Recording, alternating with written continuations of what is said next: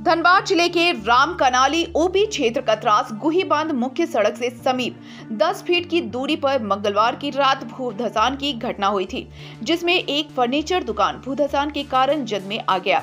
वहीं एक दर्जन दुकान के साथ घनी आबादी क्षेत्र में रहने वाले लोगों पर भी खतरा मंडराने लगा है।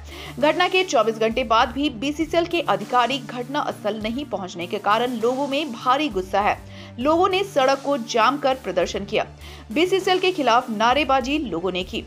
लोगों के प्रदर्शन के घंटों बाद बीसीसीएल जीएम एम एस दूत मौके पर पहुँचे, जहाँ आक्रोशित लोगों के गुस्से का सामना करना पड़ा। बीसीसीएल पर रैयतों ने जानबूझकर असुरक्षित करने का आरोप लगाया। वहीं कांग्रेस नेता अशोक लाल ने कहा कि बीसीसीएल डीजी एमएस के नियमों को दरकिनार कर कोयला उत्पादन करती है। लोगों को असुरक्षित करने का काम बीसीसीएल कर रही है। वहीं अवैध कोयला खनन के कारण भूधसान की यह घटना हुई है। बीसीसीएल से मांग है कि कोयला उत्पादन नियमों को ध्यान में रखकर करे। लोगों को सुरक्षित स्थान पर विस्थापित करे।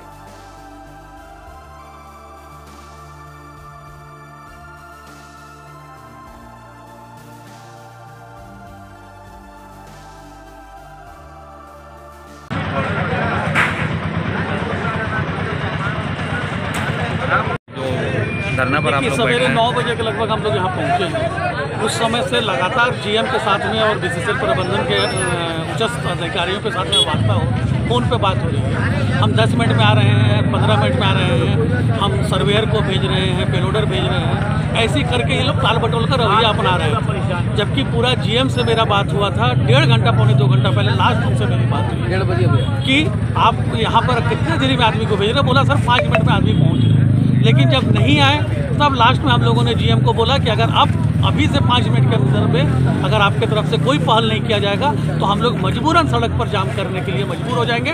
और सिर्फ़ सड़क जाम नहीं, इसके बाद भी अगर वार्ता नहीं होगी, सफल नहीं होगी तो हम लोग इनका प्रोडक्शन भी रोक देंगे देखिए, सबसे पहला तो बात है कि जो जो इनका नियामक एजेंसी है जो इनका, जिसको आप कह सकते हैं रेगुलेटरी है DGMS director general of mine safety ये लोग उनके नियम का कहीं पे भी किसी भी माइनिंग को चलाने के लिए उसका ये लोग पालन नहीं करते। जिसकी वजह से क्या होता है कि ये लोग तो कोयला तो निकालते हैं, ना उसके अंदर स्टोइंग करते हैं, ना बालू फिलिंग करते हैं, ना कुछ करते हैं ओपन कास्ट है तो ऐसे करके लोग छोड़ के चले जाते हैं। जबकि नियम है कि कोयला जहाँ से आप निकाले हैं, वहाँ का ज़मीन को समतल करके वहाँ पे प्लांट्स को भी लगाना।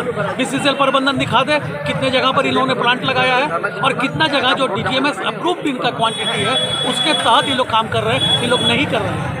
इसी सब चीज़ों की मांग को लेकर के, चूँकि ये देखिए अब ये जो ज़मीन धंसने का मामला है, ये हमारे कतरास शहर का अस्तित्व का और उसके मुस्तकबिल का बात है। और यहाँ पे कम से कम 35 से पैंतालीस हज़ार लोगों का जनसंख्या है। अगर खुदा न खास्ता अगर इसमें कुछ हो जाएगा तो एक बहुत बड़ा जानो माल का नुकसान होने वाला है, जिसकी वजह से हम लोग बीसीसीएल को चेताना चाहते हैं।